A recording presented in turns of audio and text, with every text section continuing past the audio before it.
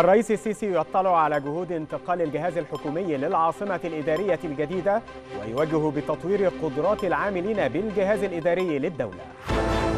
وزيرة الصحة تعلن بدء تسجيل رغبات المواطنين لتلقي لقاحات كورونا الأحد المقبل. موجة طقس غير مستقرة تضرب عدة محافظات ورفع درجة الاستعدادات لمواجهة التقلبات الجوية. السادسة مساء بتوقيت القاهرة الرابعة بتوقيت جرينتش نشرة إخبارية مفصلة تأتيكم من التلفزيون المصري أهلا بكم.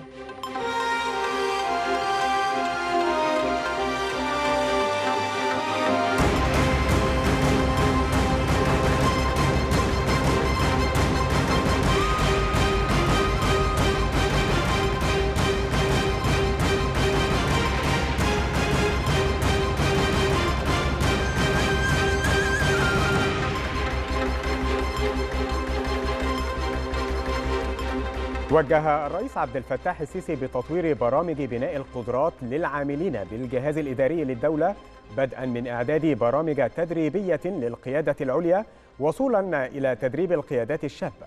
جاء ذلك خلال اجتماع رئيس السيسي برئيس مجلس الوزراء دكتور مصطفى مدبولي ووزيرة التخطيط والتنمية الاقتصادية هالة السعيد حيث اطلع على جهود انتقال الجهاز الحكومي إلى العاصمة الإدارية الجديدة. وأوضح المتحدث الرسمي باسم رئاسة الجمهورية السفير بسام راضي بأن الرئيس السيسي أكد أن بناء قدرات العاملين بالجهاز الإداري يهدف لتنمية الكوادر البشرية وكذلك تحديث الملفات الوظيفية لجميع العاملين الحكوميين وذلك لتحقيق الاستخدام الأكفأ للطاقات البشرية المتاحة. هذا وقد وجه الرئيس السيسي خلال الاجتماع أيضا بالاستمرار في دراسة تداعيات جائحة كورونا على الأداء الاقتصادي محليا وعالميا من أجل بلورة السيناريوهات المستقبلية المتوقعة في هذا الإطار. وذلك لضمان التحسين المتواصل للمؤشرات الاقتصادية والمالية على المستوى الوطني.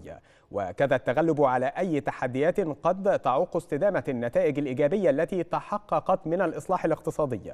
هذا وتناول الاجتماع متابعة الموقف التنفيذي لموضوعات عمل وزارة التخطيط والتنمية الاقتصادية حيث استعرضت وزيرة التخطيط تطور المؤشرات الاقتصادية في مصر والعالم منذ اندلاع جائحة كورونا والموقف الاقتصادي عالميا ومحليا خلال الفترة المقبلة.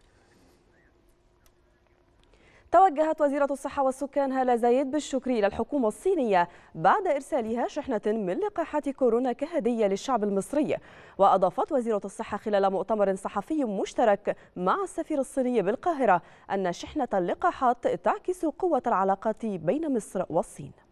وصلت النهاردة الفجر شحنة من 300 ألف لقاح ساينوفارم ودي هدية قيمة جدا في توقيت حرج جدا في العالم كله تجد في الدول العظمى تحديات في إتاحة اللقاح لأبنائها وبالتالي أن دولة الصين الصديقة يعني في ظل هذه التحديات ومحدودية اللقاحات في العالم تقوم بإرسال هذه الدفعة من الشحنات كهدية لمصر. إحنا نقدر جدا هذه الخطوة ودي بتعكس الصداقة الكبيرة جدا بين الشعب المصري والشعب الصيني والعلاقة المتميزة للصداقة بين الزعيمين سيادة الرئيس عبد الفتاح السيسي والزعيم الصيني تشين فإحنا كما أعلنت هالة زايد أنه بداية من الأحد المقبل. سيتم تسجيل المواطنين لتلقي لقاحات فيروس كورونا. وأشارت إلى أن الموقع الإلكتروني الخاص بالتسجيل سوف يكون متاحا للمواطنين. ومن لا يستطيع الدخول إلى هذا الموقع يمكنه التوجه إلى أقرب مستشفى للتسجيل من خلالها. حقيقة في التسجيل إحنا عملنا 40 موقع لتلقي اللقاحات في 27 محافظة. بالتدريج هنزود هذه المواقع. كل مواطن هيسجل من اللي لهم حق التسجيل في الفترة دي طبعا مع زيادة الشحنات اللي متوقعينها من التحالف الدولي للقاحات والأمصال. هنبدأ نزود الشرائح المستهدفة ولكن كل مواطن هيسجل. ابتداء من يوم الأحد هيكون سن 40 سنة أو أكتر أو ذوي أصحاب الأمراض المزمنة. هتوصل للمواطن رسالة نصية بتحدد له الميعاد اللي هيروح يكشف فيه عشان يخش وياخد اللقاح ويبدأ مرحلة إنه ياخد الجرعة الأولى ثم متابعته ثم الجرعة الثانية والمتابعة. أشاد السفير الصيني بالقاهرة لياو لي تشانغ بالعلاقات الثنائية بين البلدين مؤكدا أن العلاقات الصينية المصرية نموذج مثالي للعلاقات بين الصين والدول العربية والإفريقية. يعني إن العلاقات الصينية المصرية تعتبر آه، نموذجا مثاليا للعلاقات ما- تجمع بين الصين من جهة وما بين الدول العربية والإفريقية بشكل عام من جهة أخرى. كان مطار القاهرة الدولي قد استقبل مساء أمس شحنات جديدة من لقاح سينوفارم الصينية لمواجهة فيروس كورونا. وأعلن مساعد وزير الصحة والسكان لقطاع الطب الوقائي علاء عيد أن الشحنة تبلغ 300 ألف جرعة من اللقاح كهدية من الصين لمصر بما يعكس مدى العلاقات الطيبة بين البلدين. وأضاف عيد أنه سيتم خلال الأيام القادمة تسلم ثمانية ملايين من لقاح أسترازينيكا مشيرا إلى أن مصر تعاقدت على 100 مليون جرعة سيتم وصولها تباعا خلال الأشهر القادمة.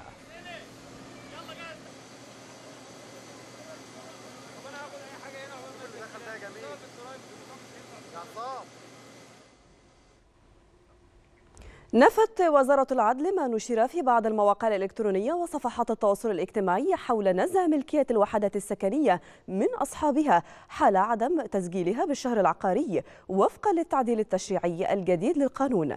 وقال المركز الإعلامي لمجلس الوزراء إن وزارة العدل أكدت أن التعديل التشريعي لا يتضمن نهائيا نزع ملكية الوحدات وأشارت الوزارة إلى أن التعديل ينص على أنه في حالة بيع الوحدة السكنية يتعين على المشتري تسجيلها سواء ببيع رضائي في الشهر العقاري أو بتسجيل الحكم الصادر في الدعاوي العينية العقارية. استمرارا للجهود الأمنية المبذولة للتصدي لجرائم الإتجار وترويج وترويج المواد المخدرة نجحت الإدارة العامة لمكافحة المخدرات وخلال النصف الأول من شهر فبراير في ضبط 1341 قضية ب 1448 متهما وبحوزتهم كميات متنوعة من المواد المخدرة.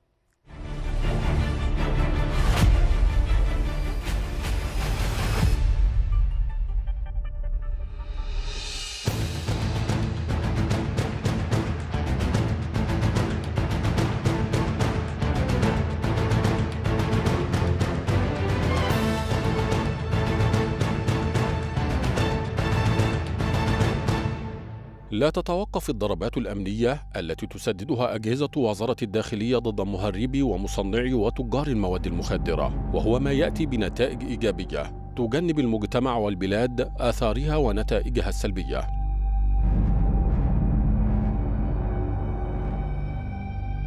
فخلال النصف الأول من شهر فبراير استطاعت الإدارة العامة لمكافحة المخدرات ضبط 1341 قضية ب 1448 متهما. وقد تنوعت المضبوطات من المواد المخدرة في هذه القضايا حيث تم ضبط أكثر من 401.5 كيلوغرام من مخدر الحشيش وأكثر من 238 كيلوغرام من مخدر البانجو الإدارة تمكنت وخلال تلك الفترة من ضبط ما يقارب 24 كيلوغرام من مخدر الهيروين وأكثر من 17 كيلوغرام من مخدر الاستروكس وأكثر من 10 كيلوغرامات من بذور القنب المخدر إضافة إلى نحو 2 كيلوغرام من مخدر الأفيون ونحو 2 كيلوغرام من مخدر الآيس.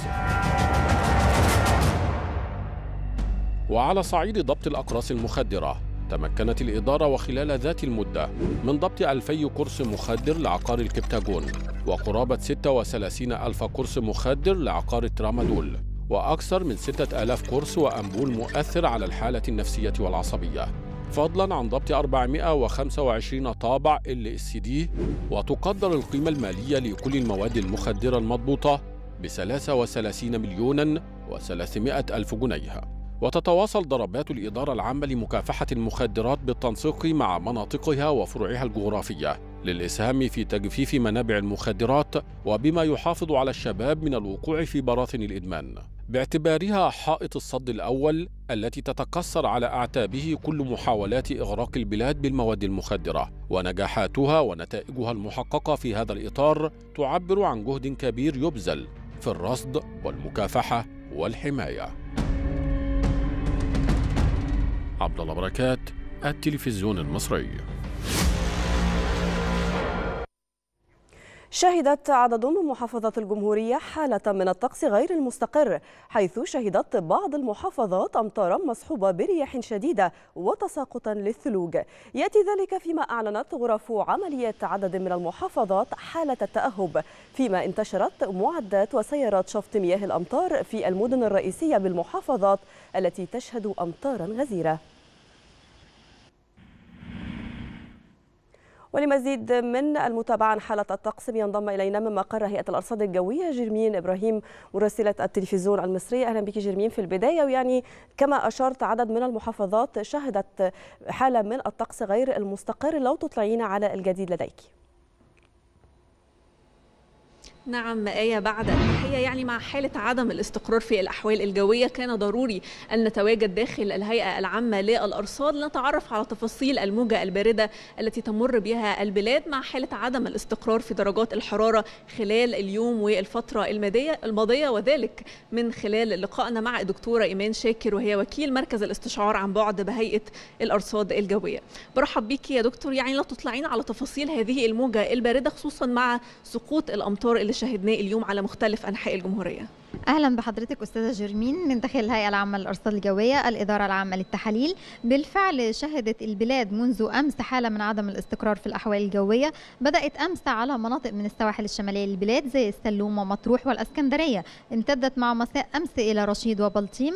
مع فجر اليوم شهدت العديد من المناطق أمطار متوسطة إلى غزيرة الشدة. يعني نقدر نقول تحديدا البحيرة كفر الشيخ بلطيم تحديدا. وأيضا دمياط شهدت أمطار غزيرة ورعدية ومصحوبة بالبرد والبرد هو عبارة عن كرات ثلجية صغيرة تتساقط مع الأمطار. محافظات الدلتا الغربية الشرقية المنوفية البحيرة كفر الشيخ الدقهلية شهدت أمطار من متوسطة إلى غزيرة مصحوبة بالبرد.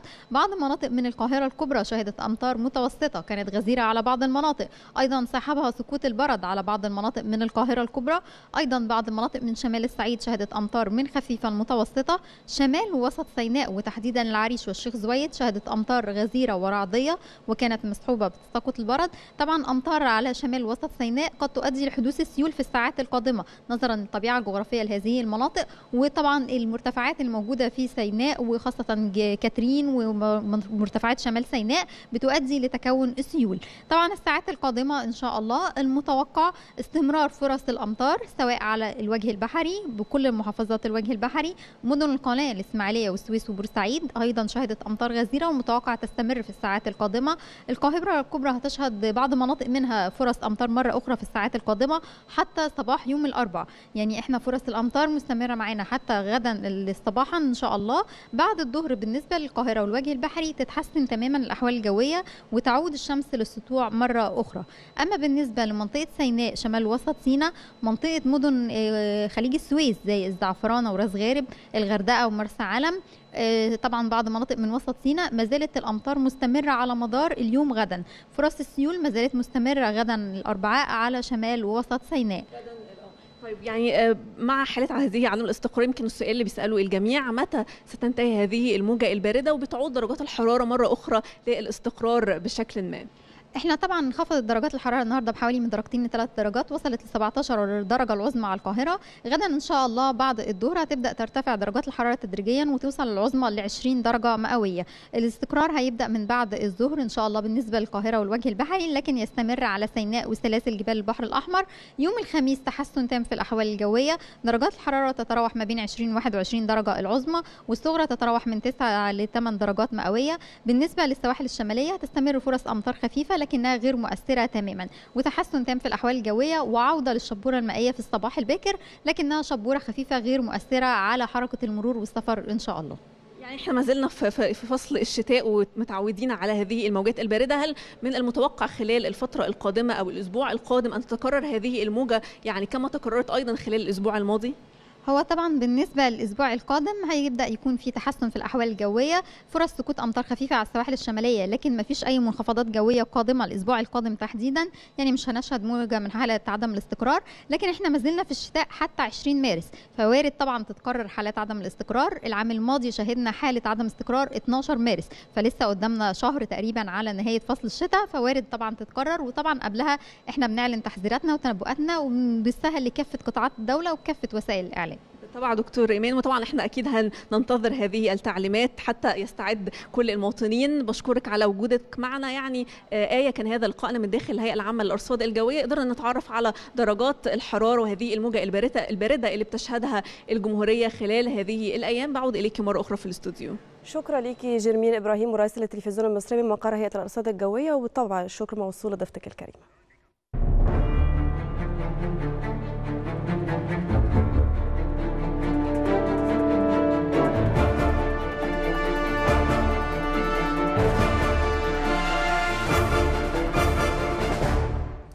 أعرب الرئيس الأمريكي جو بايدن عن أسفه بسبب تزايد أعداد ضحايا كورونا في الولايات المتحدة الذين تجاوز عددهم 500 ألف شخص. وأعلن بايدن تنكيس الأعلام على المباني الفيدرالية لمدة خمسة أيام ونتابع المزيد في سياق التقرير التالي. يوم لن ينساه الأمريكيون طوال تاريخهم ومشهد لن يمحى من الذاكرة بسهولة عندما أعلن الرئيس جو بايدن تنكيس إعلام بلاده حزنا وحدادا على أرواح نصف مليون أمريكي قضوا بسبب جائحة كورونا. خسائر بشرية تتجاوز في مجملها عدد ضحايا الولايات المتحدة في الحربين العالميتين وحرب فيتنام. اليوم نشهد حدثا مفجعا يفطر القلوب حقا 500 ألف وواحد وسبعون قتيلا. هذا هو عدد الأمريكيين الذين لقوا حتفهم في عام واحد بسبب جائحة كورونا مقارنة بالحرب العالمية الأولى والحرب العالمية الثانية وحرب فيتنام مجتمعة. هذا هو عدد الأرواح التي فقدت بسبب هذا الفيروس أكثر من أي دولة أخرى على وجه الأرض. كاتدرائية واشنطن الوطنية قرعت هي الأخرى أجرسها حزنا وألما وتخليدا للضحايا بسبب الفيروس. خبير الأمراض المعدية ومستشار الرئيس الأمريكي للشؤون الصحية أنتوني فاوتشي علق على التطورات بأنها رهيبة ومروعة مضيفا أن العالم لم يشهد شيئا كهذا منذ أكثر من مئة عام منذ وباء الكوليرا. وضع مأساوي لا يقتصر على الولايات المتحدة فقط وإنما يعيشه العالم بلا استثناء حيث وصلت الوفيات عالميا إلى نحو مليونين ونصف المليون حالة بينما اقتربت الإصابات من 113 13 مليون إصابة. أوضاع حدت برئيس الوزراء البريطاني بوريس جونسون إلى القول إنه يتعين على العالم أن يتعايش مع الفيروس على المدى الطويل مثلما هو الحال مع الإنفلونزا. أما بقية دول العالم فمنها من يسارع إلى توسيع حملات التطعيم ومنها من يواصل إغلاق الحدود ووقف السفر على أمل التقليل من خسائر الجائحة. انتقدت منظمة الصحة العالمية الدول الغنية بسبب قطع الطريق أمام الدول الفقيرة في الحصول على لقاحات فيروس كورونا. وقال مدير عام المنظمة تدرس أدناهم إن إبرام بعض الدول الغنية عقودا مباشرة مع الشركات المصنعة للقاحات أدى إلى خفض الكمية المخصصة للدول الفقيرة عبر منصة كوفاكس والمتفق عليها مسبقا. وأوضح أدناهم أنه حتى إذا تواجد المال فإنه بدون جدوى إذا لم يستخدم لشراء اللقاحات وذلك بعد أن قامت دول مجموعة السبع الصناعية الكبرى مع دول الاتحاد الأوروبي وأستراليا بشراء مليار و250 مليون جرعة لقاح أكثر من حاجتها. تدرس اليابان تأخير جداول تطعيم كبار السن ضد فيروس كورونا حتى شهر إبريل القادم ومنح أولوية لتطعيم مليون عامل إضافي داخل قطاع الصحة. وقال الوزير المشرف على برنامج التطعيم الوطني إن تطعيمات كبار السن ستتأخر عن موعدها المحدد لأن شركة فايزر لن تتمكن من زيادة طاقتها الإنتاجية على الأقل حتى مايو القادم. وتتوقع الحكومة اليابانية البدء في تطعيم أولئك الذين تبلغ أعمارهم 65 عاما أو أكثر في أبريل القادم وإنهاء التطعيمات خلال شهرين وثلاثة أسابيع تقريبا. قال رئيس الوزراء الكوري الجنوبي إنه لا داعي للتردد في تقديم اللقاح المضاد لفيروس كورونا إلى كوريا الشمالية عند توفر الظروف المناسبة. وشدد رئيس الوزراء الكوري الجنوبي على ضرورة تفهم النوايا الحسنة لكوريا الجنوبية وأضاف أن البدء في التعاون في المجال الإنساني والرعاية الصحية والرياضة سيساعد في حل المشاكل في العلاقات الثنائية بين الكوريتين.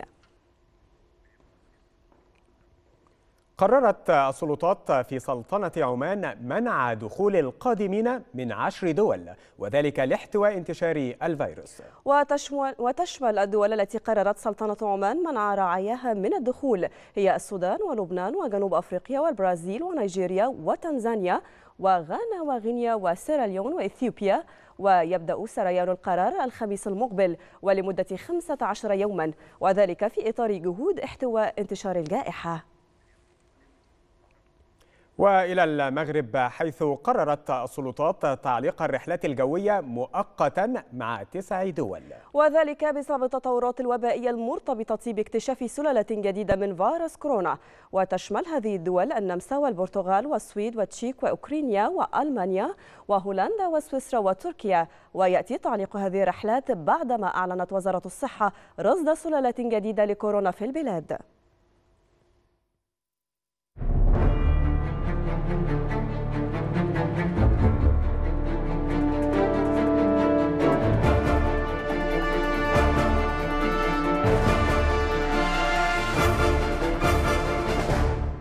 أكد رئيس مجلس الوزراء العراقي مصطفى القاضمي أن العمليات الاستباقية ضد الإرهاب مستمرة وفي تصاعد للقضاء على ما تبقى من جحوره وبؤره وخلال جلسته الاعتيادية لمجلس الوزراء. شدد القاضمي على أن أرض العراق لن تكون ساحة لتصفية الحسابات. قائلا إن الصواريخ العبثية هي محاولة لإعاقة تقدم الحكومة وإحراجها. هذا وقد تطرق اجتماع مجلس الوزراء العراقي إلى الإجراءات الاقتصادية التي اتخذتها الحكومة مشيرا إلى أنه يعمل بخطط مدروسة لتنشيط الاقتصاد العراقي.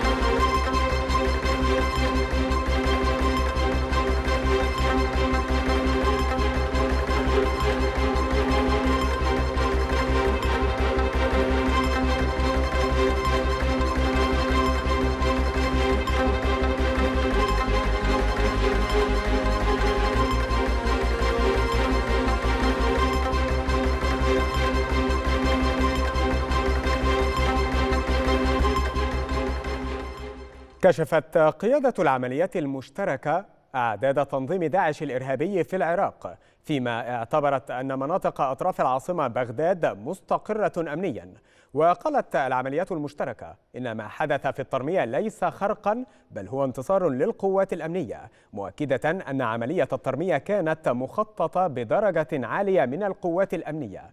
وأضافت أن أعداد الدواعش في العراق تقدر بأقل من ألف مشيرة إلى أن إرهابي داعش ما زالوا يحاولون التسلل من الحدود العراقية السورية وأنه تم إلقاء القبض على عدد منهم. وللمزيد من المتابعة ينضم إلينا من بغداد سرمد البيتي المحلل الأمني العراقي. بداية سيد سرمد الجيش العراقي يعلن القضاء عن عناصر داعش الإرهابية وأيضا إحباط هجوم على العاصمة كيف تقرأ عملية الترمية التي قام بها الجيش وأعلن انتصاره فيها؟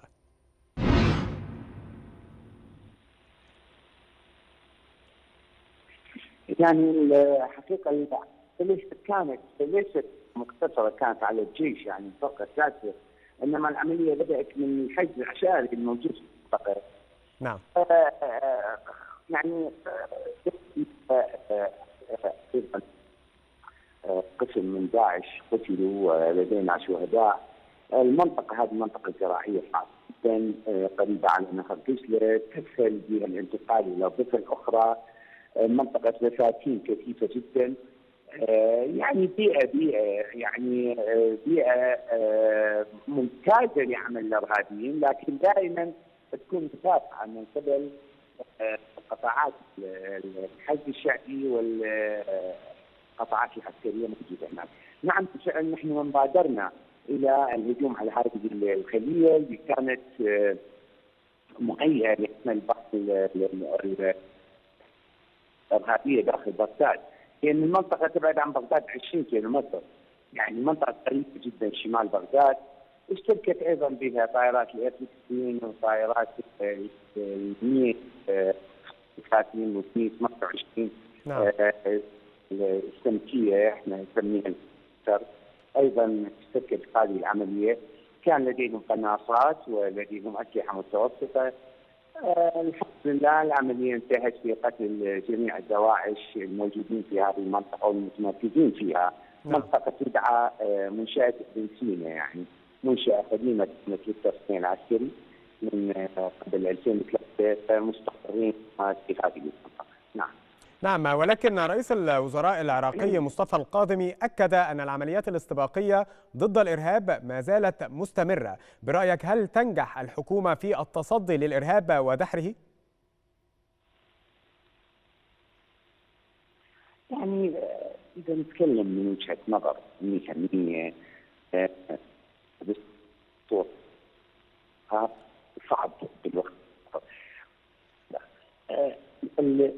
الداعش تنظيم داعش يغير استراتيجيته دائما وفق الظروف اللي هو يعاني نعم. من قبل مثلا كان يسيطر على مناطق الآن لا يعد مسيطرا على مناطق لكن تحول إلى موضوع حرب عصابات يعني فردين أو ثلاث أفراد أو بالعدد الأكثر قد يكونون خمسة أفراد.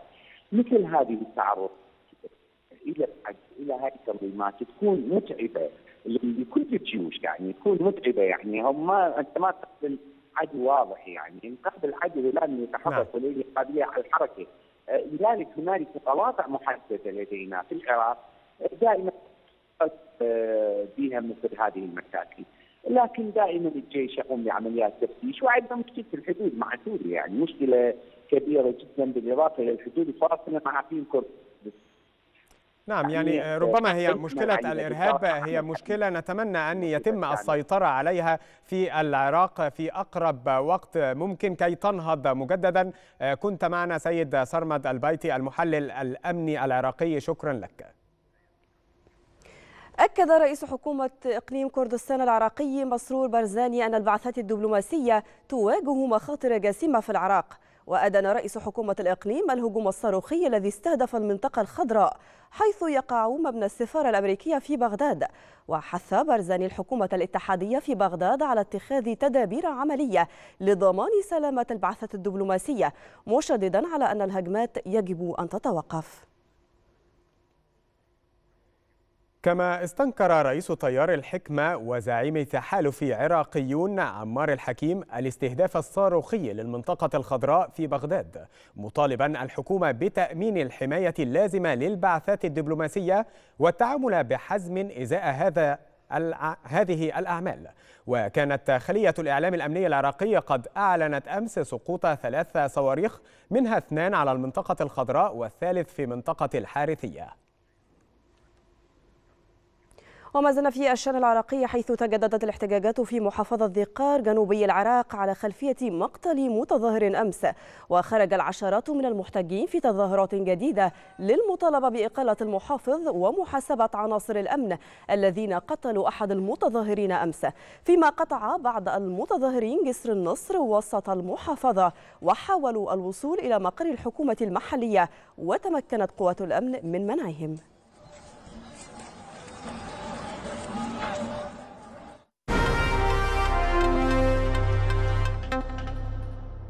حذرت المفوضية الأوروبية من خطورة الوضع في لبنان داعية إلى سرعة تشكيل الحكومة. ووفقا لوسائل إعلام لبنانية أكدت المفوضية الأوروبية أن الوضع في لبنان يتدهور وحثت على ضرورة تشكيل الحكومة من دون تأخير. من جانبه أعلن الاتحاد الأوروبي أن هناك اجتماعا دوليا حول استحالة حول استحالة دعم لبنان في غياب حكومة للإصلاح.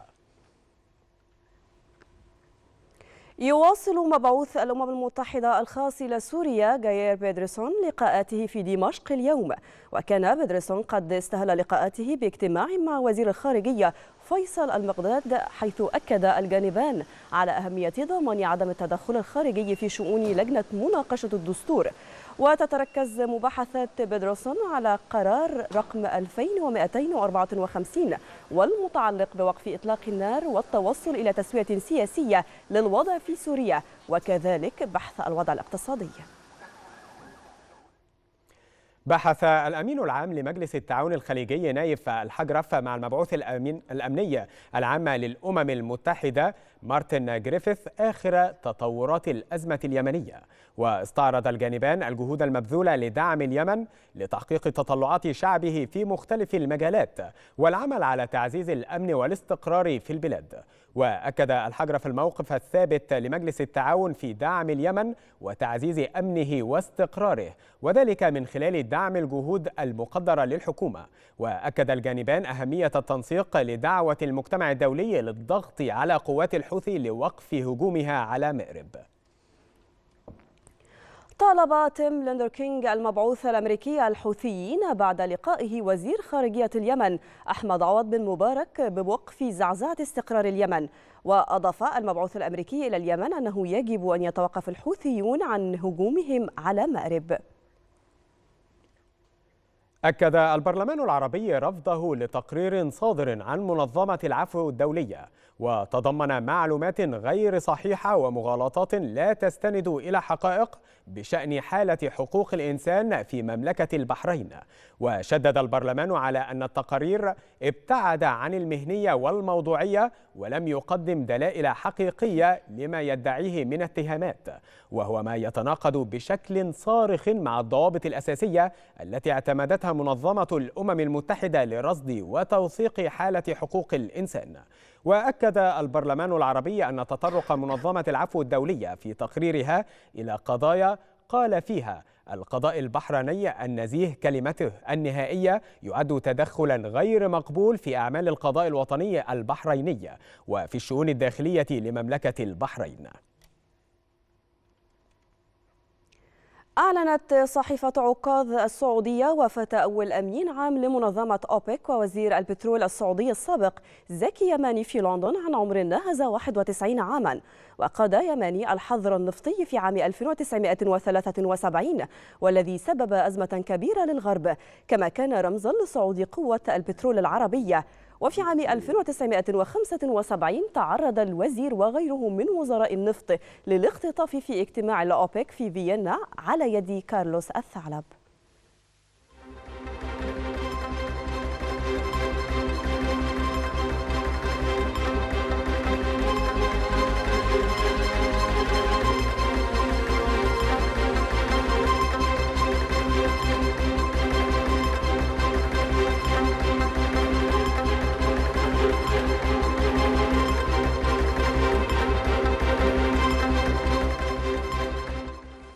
ألقى الرئيس التونسي قيس سعيد كلمة خلال الحوار المفتوح رفيع المستوى لمجلس الأمن حول تأثير التغيرات المناخية على الأمن والسلم الدوليين.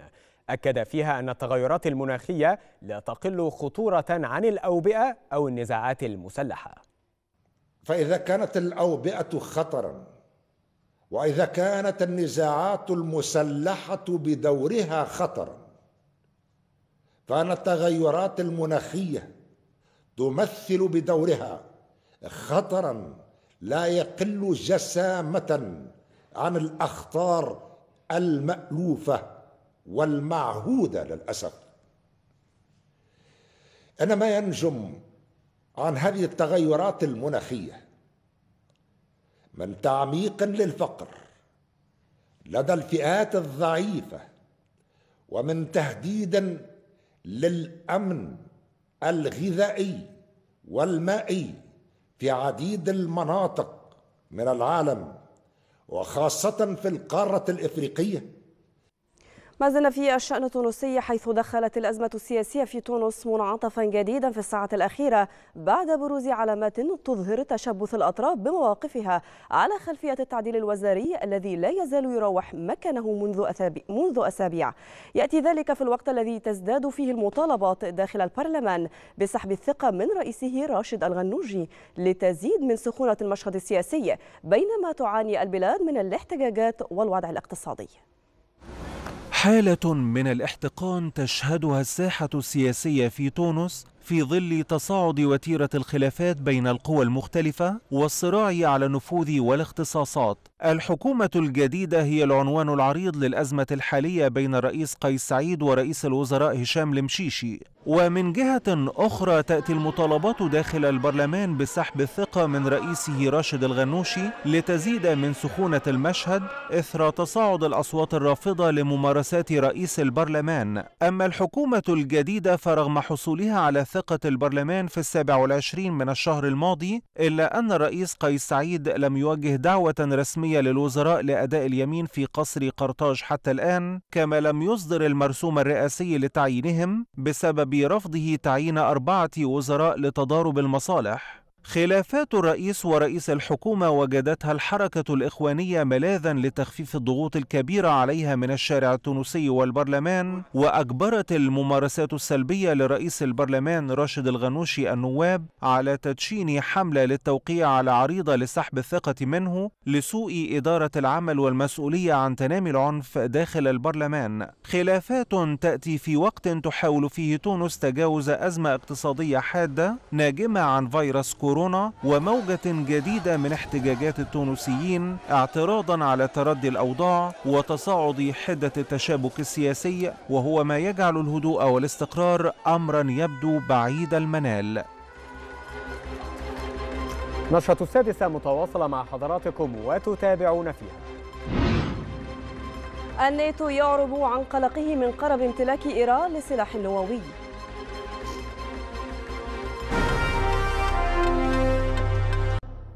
أعلن مدير الوكالة الدولية للطاقة الذرية رافائيل ماريانو جروسي عن أن منع دخول مفتش إيران الوكالة دون اتخاذ خطوات من جانبنا سيكون له تداعيات. وقال جروسي أن الحوار الجاري مع إيران لم يسفر عن أي نتائج حتى الآن. وطالب مدير الوكالة الدولية للطاقة الذرية إيران بتقديم إجابات عن يورانيوم تم العثور عليها في بعض المواقع. وأعلنت فرنسا وألمانيا وبريطانيا عن أن إيران بدأت من اليوم تعليق البروتوكول الإضافية وإجراءات الشفافية التي ينص عليها الاتفاق النووي. وأكدت الثلاث دول أنها تسعى لإنقاذ الاتفاق النووي بعد نية أمريكا للعودة إليه داعية إيران للتراجع عن إجراءاتها الأخيرة التي تحد من الشفافية.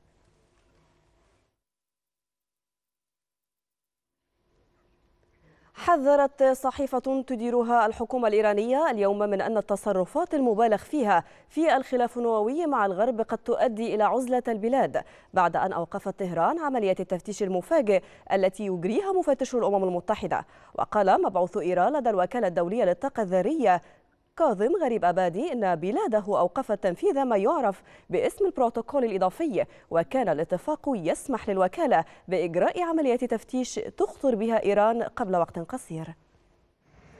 شد وجذب تتصاعد وتيرته من ساعة لأخرى بين طهران والغرب بسبب البرنامج النووي الإيراني ومصير اتفاق عام 2015 الموقع بين الجمهورية الإسلامية والقوى الكبرى. الشد الإيراني تمثل في تصريحات للمرشد الأعلى علي خامنئي قال فيها إن بلاده تستطيع رفع مستوى تخصيب اليورانيوم إلى 60% عند الحاجة. تصعيد يترافق مع بدء سريان قرار للبرلمان الإيراني بوقف العمل بالبروتوكول الإضافي من الاتفاق النووي والذي يسمح لمفتشي الوكالة الدولية للطاقة الذرية بزيارات مفاجئة للمنشآت النووية. وتتبنى إيران نهجا تصعيديا ضد الولايات المتحدة والغرب وتمارس أقصى الضغوط على إدارة الرئيس الأمريكي الجديد جو بايدن إثر قرار إدارة الرئيس السابق دونالد ترامب بالانسحاب من الاتفاق النووي عام 2018 وإعادة فرض العقوبات مرة أخرى على طهران. وضع ترك الولايات المتحدة في موقف لا تحسد عليه. فاكتفت واشنطن بالتقليل من أهمية تصريحات خامنئي بتخصيب اليورانيوم بنسبة 60% كما شددت على أنها لن تقوم بتخفيف العقوبات ولن ترفعها قبل الحوار مع طهران. أما بشأن اقتراح الاتحاد الأوروبي الدعوة لاجتماع بين الدول الموقعة على الاتفاق النووي فقالت المتحدثة باسم البيت الأبيض جينساكي إن الجميع لا يزالون بانتظار رد إيران على هذا المقترح. وحتى تحديد الموعد واتضاح المواقف يبدو أن الأزمة ستكون على موعد مع مزيد من التصعيد.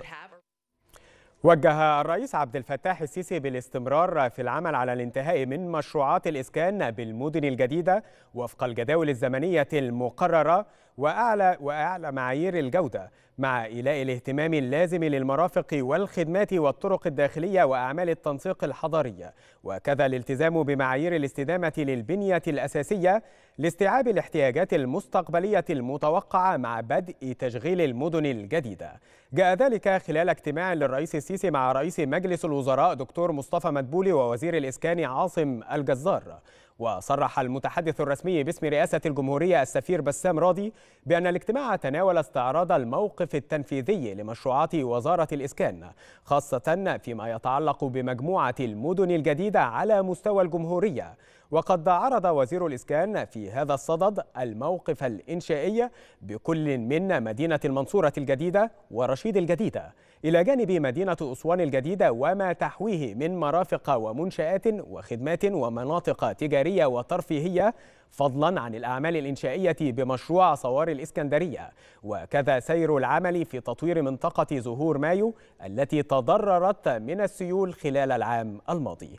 كما تم استعراض الموقف التنفيذي للعاصمة الإدارية الجديدة وما تشمله من أحياء سكنية وكذا الحي الحكومي والمال والأعمال وتطورات تشييد البرج الأيقوني مؤكدا أن الأعمال الإنشائية تمضي وفق جدول زمني بتنفيذ مخطط لها سواء من حيث الجوانب التمويلية أو التوقيتات الزمنية أو معدلات ونسب الإنجاز الفعلي على أرض الواقع. هذا ووجه الرئيس عبد الفتاح السيسي بمراعاة أكبر اتساع ممكن لحجم مداخل العاصمة الإدارية الجديدة والمحاور المؤدية إليها وذلك لاستيعاب الحركة المرورية المتوقعة منها وإليها مع ربطها بالمحاور والطرق الرئيسية المؤدية إلى القاهرة الكبرى وأحيائها. وأضاف المتحدث الرسمي أن وزير الإسكان عرض أيضا الشق الخاص بالوزارة فيما يتعلق بالخدمات المختلفة في إطار المشروع القومي لتطوير قرى الريف المصرية خاصة قطاع مياه الشرب والصرف الصحي مع استعراض حجم المعدات المحشودة في هذا الإطار. هذا وقد وجه الرئيس عبد الفتاح السيسي بتدقيق جميع البيانات ذات الصلة بمشروع تطوير الريف المصرية على أن تتضمن أعمال المشروع فرق عمل من الأكاديميين وخبراء التخطيط والإحصاء وذلك للوقوف على كافة التفاصيل على أرض الواقع وتحديث البيانات الخاصة بسكان القرى وأحوالهم وأوضاعهم.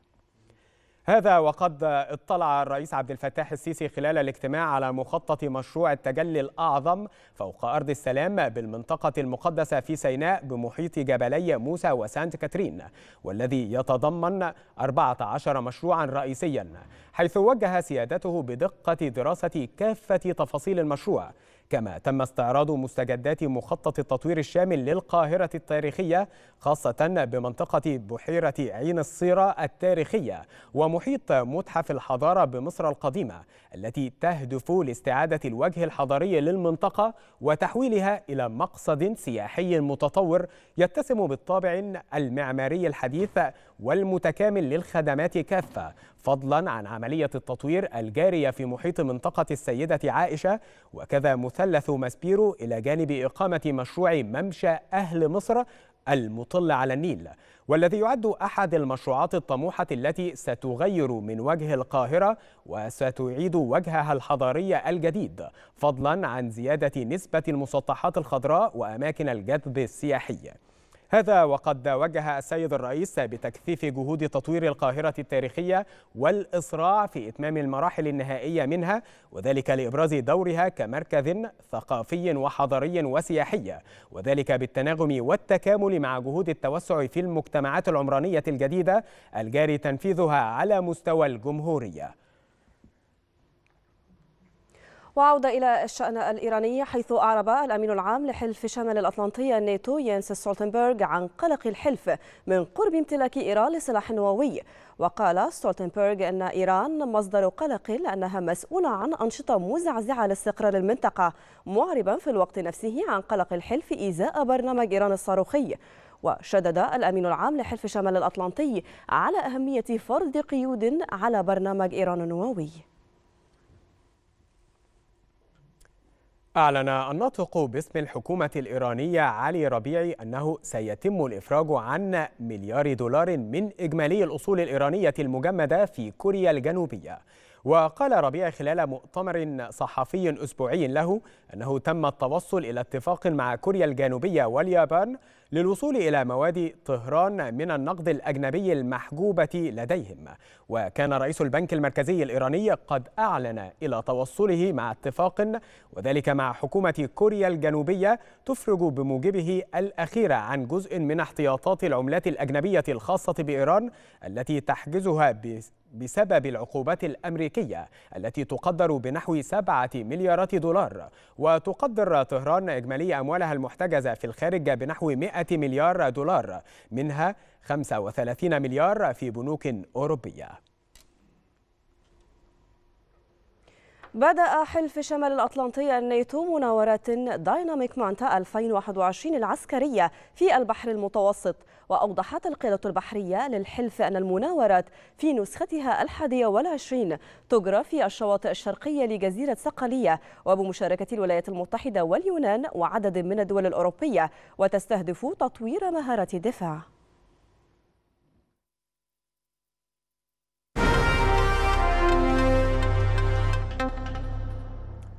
وافقت وزيرة التخطيط والتنمية الاقتصادية هالة السعيد على اعتماد مبلغ 750 مليون جنيه كدعم إضافي للمشروع القومي لتأهيل وتبطين الترع ورفع كفاءتها على مستوى الجمهورية. وأوضحت وزيرة التخطيط والتنمية الاقتصادية أن المبلغ المعتمد جاء في إطار المشروع القومي لتأهيل وتبطين الترع وكذلك تحقيق الأهداف الاستراتيجية القومية للموارد المائية بمصر. وأكدت السعيد أهمية مشروع تأهيل وتبطين الترع لما سيحققه من وفر في مياه الري بحوالي خمسة مليارات متر مكعب سنوياً. وذلك فضلا عن الحفاظ على قطاعات الترع وحماية الجسور مما يرفع من كفاءة نقل وتوزيع المياه وتحسين نوعيتها. يواصل معرض ديارنا للحرف اليدوية فعالياته وسط إقبال كبير من الزائرين على شراء المنتجات المختلفة من الحرف اليدوية. ويتميز معرض ديارنا في نسخته الحالية بتنوع كبير للمنتجات والفئات المشاركة بالمعرض. المزيد في هذا الإطار ينضم إلينا من المعرض مراسل التلفزيون المصري محمود جميل. محمود ضعنا في تفاصيل الأجواء لديك وكيف يستقبل الزائرين المنتجات المتوفرة في هذا المعرض؟ مساء الخير عليك أحمد وعلى كل السادة المشاهدين. كما ذكرت في الخبر كثرة العارضين وكثرة المنتجات وتنوعها واختلافها يعني داخل معرض ديارنا أدى إلى زيادة الإقبال خاصة اليوم رغم حالة الطقس الغير مستقرة إلا أن هناك إقبال ملحوظ داخل المعرض على المنتجات المختلفة. هذا الإقبال الذي أدى إلى مد فترة المعرض حتى يوم السبت السابع والعشرين من فبراير الجاري. كان من المقرر أن ينتهي يوم غد ولكن تم مده حتى يوم السبت القادم. كثرة العارضين وكثرة المنتجات التي نتحدث عنها ليست فقط المنتجات الصناعية من الحرف اليدوية الموجودة داخل المعرض هناك يعني عليها إقبال ولكن أيضا هناك بعض المنتجات الغذائية الصحية التي صنعت بأياد منزلية عليها عليها إقبال داخل المعرض. فالمعرض قدم جناح مخصوص لهذه المنتجات الغذائية لأيضا يقبل عليها يعني المحبين ل يعني الحرف اليدوية ليس فقط في الصناعة ولكن أيضا في المنتجات الغذائية. كثرة العارضين نتحدث عن أكثر من 300 عارض هنا وهذا العدد يعني أقل بكثير من العدد المقدم على الموقع الإلكتروني لوزارة التضامن الاجتماعي. هناك ضعف هذا العدد الموجود حاليا داخل المعرض متقدم ليكون موجود في المعارض القادمة لوزارة التضامن الاجتماعي. أيضا المعرض ليس فرصة لتسويق المنتجات فحسب ولكن أيضا التسويق والتعليم من خلال ورش التعليم الموجودة داخل المعرض التي تقوم بتدريب وتعليم فن الحرف اليدوية. هذه هي الصورة من داخل معرض ديارنا وعودة إليك أحمد مرة أخرى. محمود جميل مراسل التلفزيون المصري من معرض ديارنا للحرف اليدوية شكرا لك. والآن موعدنا مع الجولة الاقتصادية. أخبار الاقتصاد مع دينا فكري إليك دينا. شكرا أحمد شكرا آية أخبار المال والأعمال محليا وعالميا.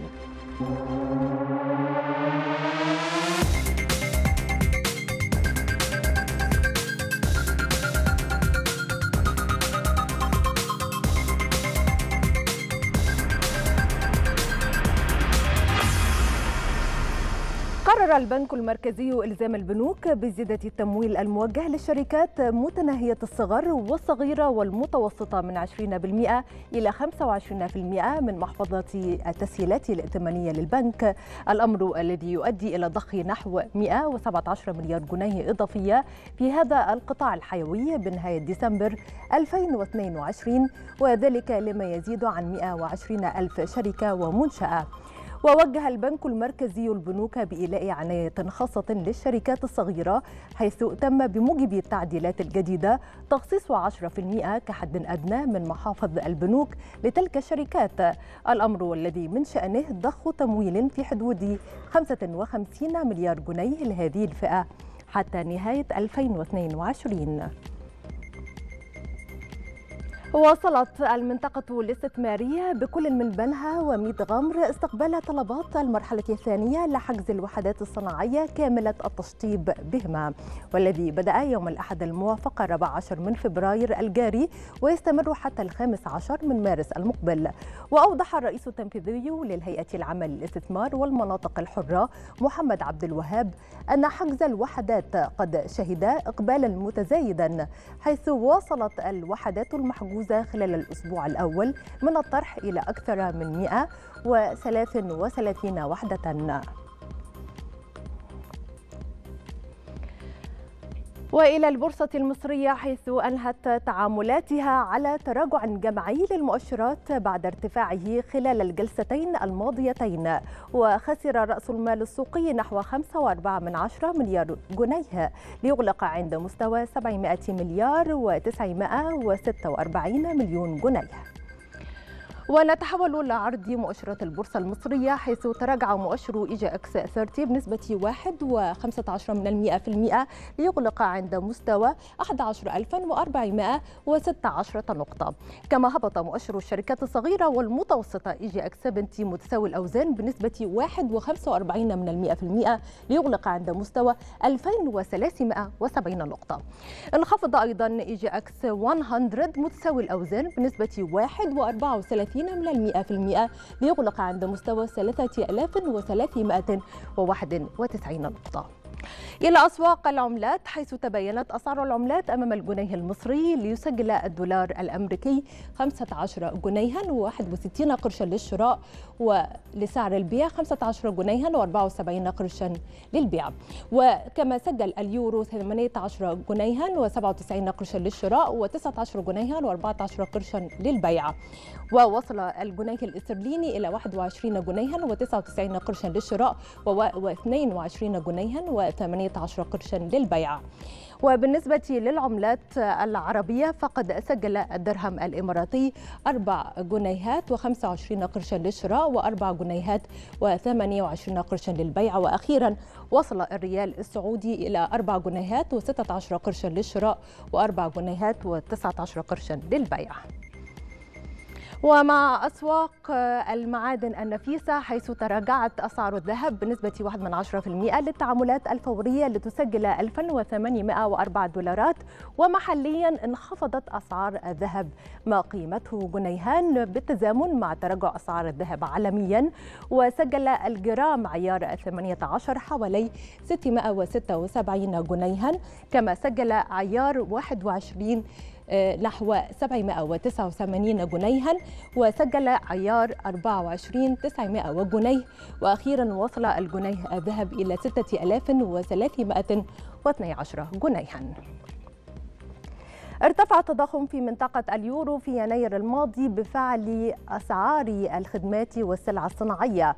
وأكد مكتب إحصاءات الاتحاد الأوروبي في تقديرات سابقة بأن أسعار المستهلكين في منطقة اليورو ارتفعت ارتفعت 2 من 10% على أساس شهري و9 من 10% على أساس سنوي.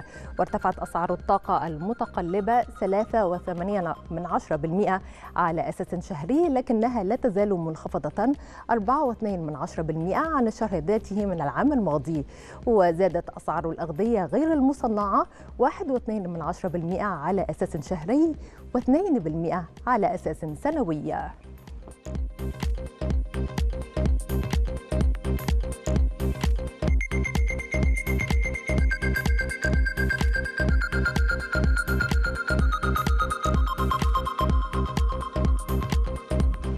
ختام أخبار المال والأعمال وعودة مرة أخرى إلى أحمد عبد الصمد وايال الكفوري إليكم شكرا لك زينب. إذا مشاهدينا ومن أخبار الاقتصاد نكون قد وصلنا إلى نهاية أخبار السادسة ولا يتبقى سوى تذكرة بأهم ما جاء فيها من عناوين. الرئيس السيسي يطلع على جهود انتقال الجهاز الحكومي للعاصمة الإدارية الجديدة ويوجه بتطوير قدرات العاملين بالجهاز الإداري للدولة. وزيرة الصحة تعلن بدء تسجيل رغبات المواطنين لتلقي لقاحات كورونا الأحد المقبل. موجة طقس غير مستقر تضرب عدة محافظات ورفع درجة الاستعداد لمواجهة التقلبات الجوية. إلى هنا انتهت جولتنا الإخبارية من السادسة. دمتم في رعاية الله وأمنه